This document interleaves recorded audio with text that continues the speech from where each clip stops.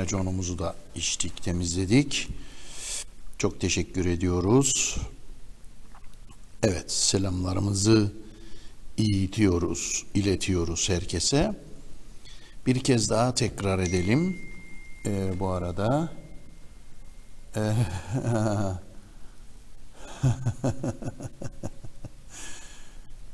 Soner Yolaç Eski Karadağ'dan günaydınlar diyor bizlere sevgili kardeşim. Supi Coşkun Başkanım da bize selamlar ediyor. Biz de ona selamlarımızı gönderiyoruz. Başkanıma saygılarla tabii ki. Evet, her ikisi de başkanımızdır bizim aynı zamanda. Evet, Büyük Britanya'da Covid-19 nedeniyle hayatını kaybeden Kıbrıslı Türkler ve Rumların toplamı 300'ü aştı. Evet, 95 Kıbrıslı Türk, 2 Maronit, 204 Rum kardeşimizi yitirdik. Evet, ilginç bir durum bu. Ölümlerin yüzde biri, yani her ölen 100 kişiden biri Kıbrıslı İngiltere'de. Çok ilginç bir rakam tabii ki ve oldukça yüksek. İngiliz gazetelerine bakalım. Bu arada Prince Andrew'un başı beladan kurtulmuyor. 5 milyon ödenmemiş 5 milyon sterlinlik borcuyla ilgili olarak aleyhine dava açılıyormuş. Erdinç Ökten kardeşimiz var televi televizyonda. Buyurun Erdinç Bey. Alo iyi günler Serhat. İyi günler. Hayırlı yayınlar. Sesin az gelir biraz. Buyurun. Sesin az gelir. Yok ben sizi duyuyorum tamamdır. Ha tamam. Serhat ben bir konudan bahsetmek istiyordum. Hani bu emeklilere her yıl gelen o yaşam forumları var ya. Yani sağımın ölümün diye emekli maaşını alabilmen için. Evet.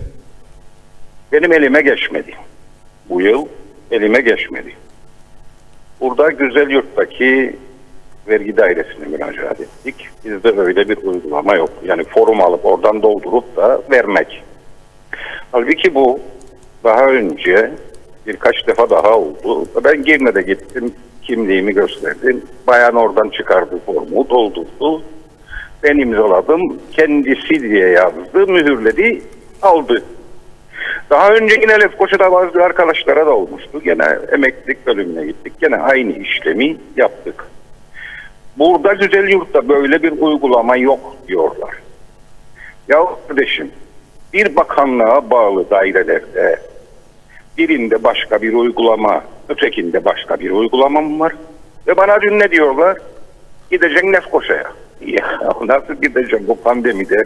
Yani Lefkoşa'ya neyle gideceğim zaten? Araba süremeyim. Yaş yukarıda dışarı çıkmayın derler yaş yukarıda olanlara. Eğer minibüs yok, otobüs yok, hiçbir şey yok. Yani üç tane formu, beş tane formu bir daireye gönderip de orada işlem yapmak bu kadar zor mu yani?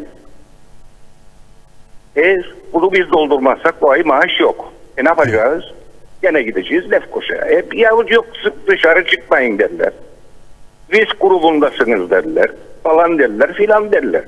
Yani devlet vatandaşa hizmeti ayağına mı götürecek yoksa vatandaş devlete mi hizmet edecek? Ben bunu anlayamıyorum gitti. Nasıl olacak şimdi bu iş? Ne yapacağız yani? Her taraftan ilaç kalır. Bir daire, bir bakanlığa bağırı dairelerde Mausa Cumhuriyeti, Lefkoşa Cumhuriyeti, Güzel Yurt Cumhuriyeti, İrne Cumhuriyeti. E böyle bir uygulama mı olur ya? Ben anlayamıyorum nasıl iştir bu işler. Yani vatandaşı bu kadar bu pandemide vatandaşı bu kadar zora sokmak niye? Niye? Sayın Serhat bak ben sana bir şey anlatayım da herkes de duysun. Evet. 1972 İrne'de oturup Sucuk Osta diye bir Rum Türkçe bilir. Bir gün geldi çaldı kapıyı. Günaydın efendim bu Sucuk Osta. Ve Celal'ın güveysi dedi. Benim kaynatamın rahmetli ismi de Celal. Çok su parası geldi sana bu sene. Bu, da, bu ay. Ne kadar geldi Usta Efendi? 5 lira. 10. Dedi bahçen yok, bir şeyin yok dedi. E dedim, saati sökeceğim de götüreyim bakayım ölçeyim dedim. Kontrol edeyim dedim. Tamam dedim. Söktü saati götürdü. İki saat sonra geldi elinde yeni bir saat. Ne oldu Usta Efendi? E, saatin bozuldu dedi de değiştim saati sana. E dedik ne olacak o 5 lira? Geçen ay ne ödediysen gene onu öde dedi. 3-5 şilin neyse. Çıkarıp verdik kendine 3-5 şilin de git sen öde dedi. Tamam dedi. Ne saat parası ne bir para şey parası hiç. E işte böyle çalışılır. Evet. Ve vatandaşa devlet hizmet eder. Hani e devlet? Nerede devlet? Şimdi ben çıkayım sağa sola. Araba süremeyik zaten. Çıkayım ben sağa sola. Yarın gideceksin Lefkoşa'ya. O bir gün gideceksin Lefkoşa'ya. Bakayım birilerini bulayım da gideyim. E hadi evde oturun derler bize. Ne olacak yani ne yapacağız yani? E sonra rica edeceğim şeye Maliye Bakanı'na yollasın o makam arabacığını da alsın neden gidip yapayım işimi. Evet. Doğru değil mi? Hani devlet? Evet. Devlet nerede? Yani hükümetler içinde olacak insanların insanı bir yere bir makama atadığınızda her şeyi düşünecek. Yok böyle maskaralı. Gel der, git der bana şey ekonomi ve maliye bakanlığına. E böyle Yok. rezillik mi olur ya? Maliye Bakanlığı'na. Maliye Bakanlığı'na, diğer bölgelerdeki aynı bakanlığa bağlı daireler bu işlemi yapıyor. E buradaki bizde öyle uygulama yok diyor. E bu maskaralıktır ya. Evet. Maskaralıktır. Yani hükümetler bunu yapıyor ve biz de halk da vay ne yapayım böyle devleti de. Çekiyoruz. Çok teşekkürler Erdinç Bey. Rica ederim. İyi günler. Çok çok sağ olun. İnşallah bu mesajınız ilgili yerlere gider. İnşallah. Telefon numaramı Evet. Evet. Britain on brink of worst recession since Great Frost of 1709.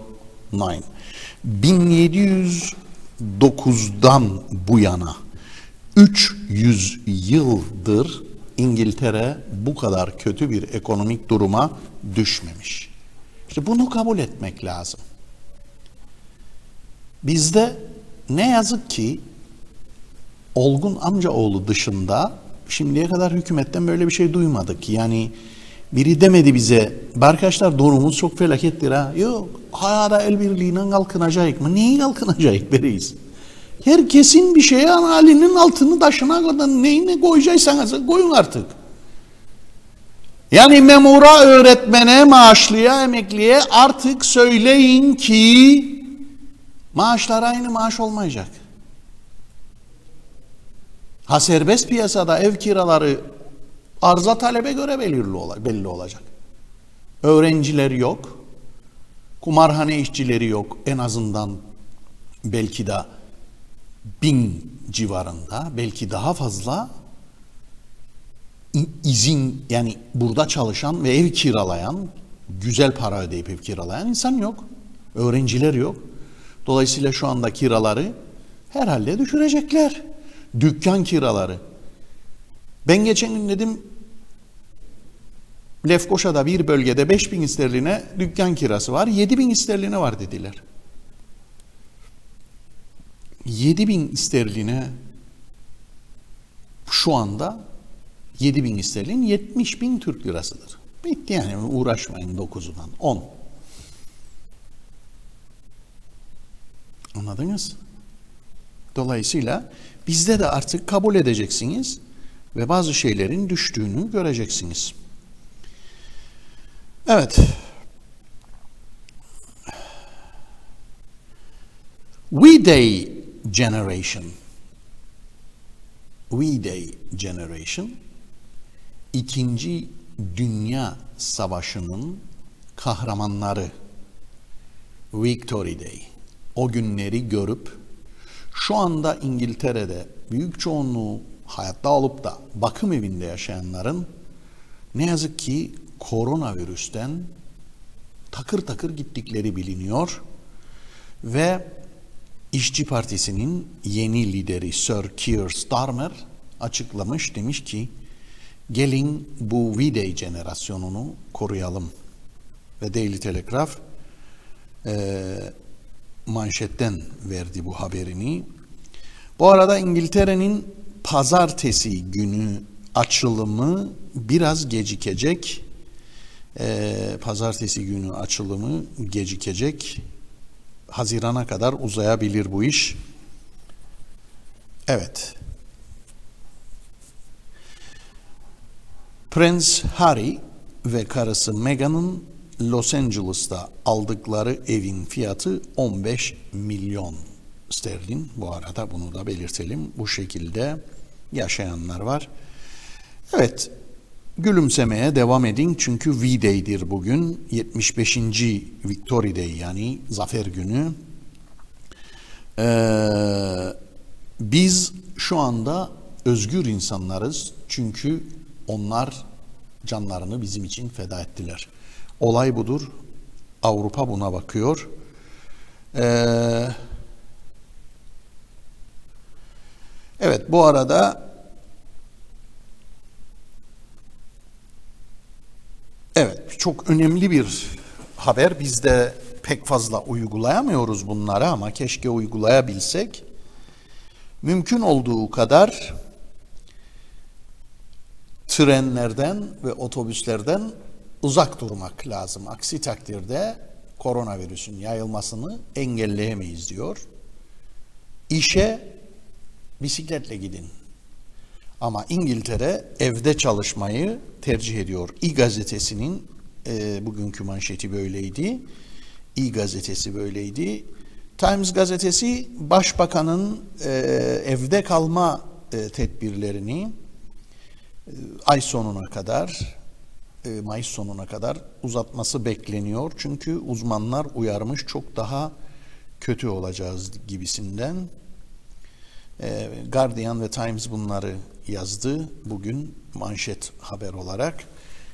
Çok çabuk bir şekilde Türkiye gazetelerinin ön sayfalarına bakalım ve programımızı bitirelim. Hemen bakıyoruz. Bu arada mesajımız varmış. Muhammed Gözay, Ecved Ali Kanatlı bizlere günaydınlar dediler. Evet. Seyir Söper ve muayene harçları www.bub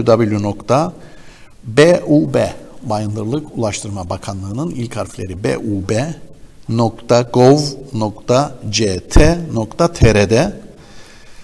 Akos araç kayıt harç ödemeleri bağlantısını tıklayarak internet üzerinden kredi kartı ile ödenebiliyor.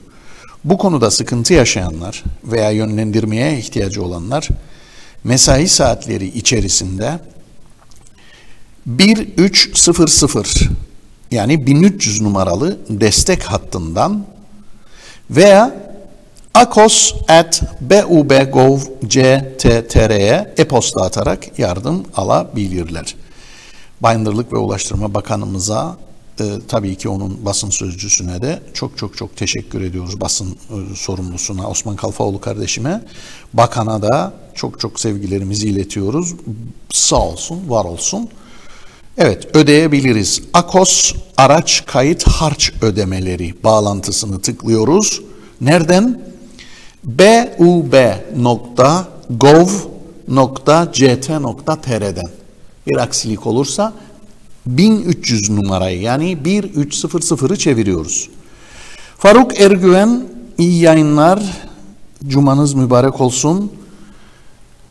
Ben derim ki Tosya Kastamonu'dan Kıbrıs Türkiye için bir yaradır. Kıyamete kadar gider Türkiye var olduğu sürece Faruk Örgüven biz de selamlarımızı iletiyoruz. Bilgin Günsoy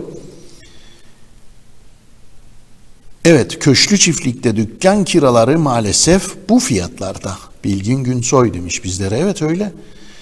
Fırat Golal bu ödeme işleri şubelerden olmaz merkeze gelmek lazımdır. Bizim bir hükümetimiz var. Onun adı da esas duruş hükümeti demiş Muhammed Gözay. Ulus Barani günaydın kardeş. Pazar günü anneler günü kimse sokağa çıkma yasağı. Mezarlığa gidip ziyaret etmek yasak mı? Evet. Yasaktır. Pazar günü sokağa çıkma yasağı var. Ve bu defa annelerin özellikle mezarlık varsa cumartesi gidin mezarlığa. Ama bence hala annelerimizi ziyaret etmeyelim. En güzel hediye sevgili bakanın da e, söylediği gibi hastalıktan korumaktır. Arsenal dedim kafamızı değiştirmek istedim. Herkesin bundan böyle dünyada en son normalleşecek yerlerden biri Kuzey Kıbrıs olduğunu söylememize gerek yok. Umarım çökmüş olan sosyal hayat ve ekonomiyi görenler bundan böyle direkt uçuşların ve doğrudan ticaretin yapılmadığında Kıbrıs'ta çözümün ne kadar önemli olduğunu anlamayanlar anlamıştır diyor Yakup Yücel kardeşim. Biz de şaka yaptıydık zaten Yakup Yücel. Arsenal'ı sevmeyiz diye bir durum yok. Arsenal'a ben takım olarak bayılırım da ben tam karşı taraftayım. Olabilir. Kıbrıs'ta çözümün ne kadar önemli olduğunu anlamayanlar eminim anlamıştır.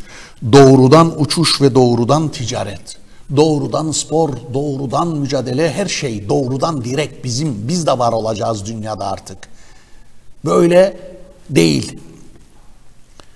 Kıbrıs'ta evet yağmalanacak bir şey kalmadı. Sadece karanlık paralar aklanıyor. Böyle bir düzende olmak ve yaşanacak, yaşamak sürdürülebilir bir yapı değildir. Has bir Kıbrıslı olarak duygu ve düşüncelerimi daha detaylı da anlatabilirim. Ama buna ne vaktimiz kaldı ne de sabrımız ve gücümüz Serhat abiciğim. Aynen öyle Yakup Yücel. Çok teşekkür ediyorum. Ee, ve Tottenham'da korkma diyorum. Serdar Cesurer, günaydınlar. Günaydınlar. Tekrardan herkese selam ve saygılar. Bu ülkede para var. Doğru düzgün vergileri toplasınlar. Sınırsız teşvik kavramını kaldırsınlar. Yerli iş gücünü kullansınlar. Para yurt dışına kaçmasın. E, bunu şu anda Sayın Likaşemedi zaten Başbakanın söyledikleri de bunlardır. Yerli iş gücü, yerli istihdam, yerli üretim, yerli tüketim. İnşallah başarırız bunu.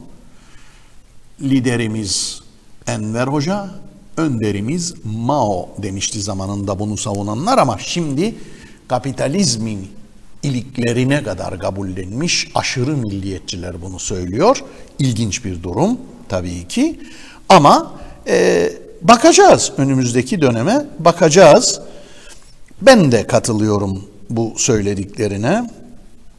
Ee, bir kez daha herkesin en başta Faruk Ergüven kardeşimizin Tosya, Kastamonu'ya selamlarımızı iletelim. Ve herkesin de cumasını kutlayalım. Hayırlı olsun. Ama bu ülkede tabii ki birçok şeyi yapabiliriz. Sistemi de e, değiştirmek şartıyla bir miktar. Evet, bu kadar şimdilik. Örsan Balıkçıoğlu hadi abi kaç dedi. Ben gidiyorum. Örsan Balıkçıoğlu'nun ve galiba Hasan Koç da geldi kardeşimin. Onların da sizlere çok selamları var. Pazartesi sabah 07.30'da buluşmak dileğiyle. Her şey gönlünüzce olsun. Çok iyi kalın. Hoşça kalın.